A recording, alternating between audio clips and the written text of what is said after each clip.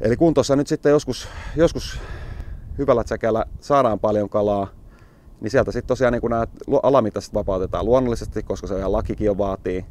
Mutta sen lisäksi myöskin nämä niin sanotut ylämittaiset, eli isot kalat vapautetaan, jotka on näitä kalakantojen oikeastaan kulmakiviä. Ne on niitä, jotka, jotka tuottaa eniten poikasia ja kaikkein parhailla, parhaimmilla geeneillä varistettuja poikasia, joilla sitten taas puolestaan on parhaat mahdollisuudet niin kuin kasvaa isoiksi taas uusiksi yksilöiksi.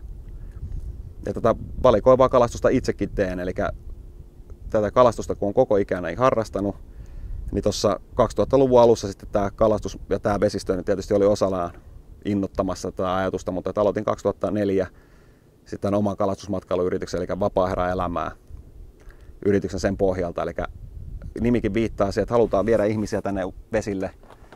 Nimenomaan tämä Siuntio vesistö on nyt se, mihin ollaan keskitytty viime vuosina eniten viettämään vapaa elämää. Eli semmoista lungia, mukavaa, porukan kanssa kalastellaan, nautitaan luonnosta tyyppistä ratkaisua.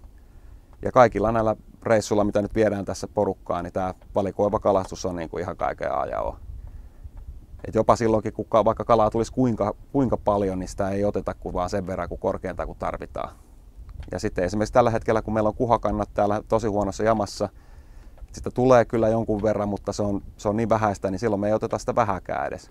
Et me pyritään keskittämään se kalastus niihin kalalajat, jotka kestää. Tällä hetkellä se on ahven, ahven ja jossain määrin hauki, jota niin kalastetaan.